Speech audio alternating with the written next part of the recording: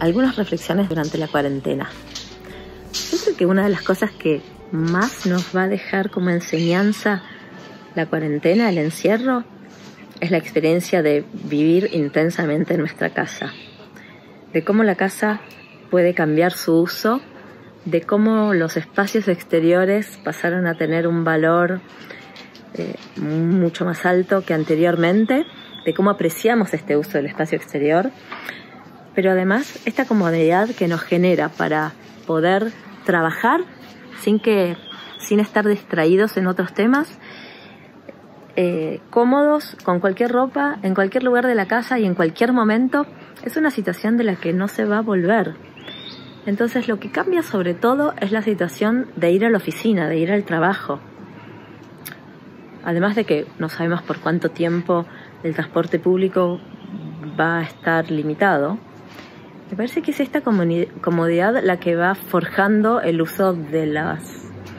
de los espacios y de la cual no se vuelve en, el uso, eh, eh, en la evolución de la tipología de vivienda universal. Entonces,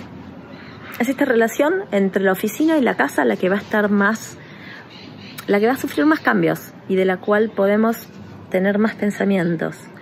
porque la plataforma de reunión digital, virtual, no solo nos conecta con cualquier persona del mundo en cualquier momento, eh, ahora que nos acostumbramos, ahora que ya no se nos volvió nuestra nueva normalidad, pero además nos abre la posibilidad a usar Internet como nuestra cabeza, porque uno mira tanto a la persona que tiene enfrente como cuando compartís pantalla, tu pantalla es una especie de abrir el cerebro en cualquier reunión y con la cantidad de personas que tengas adelante. Entonces, este tipo de trabajo cómodo, con doble cerebro, es lo que me parece que va a cambiar completamente cómo trabajamos y cómo vivimos.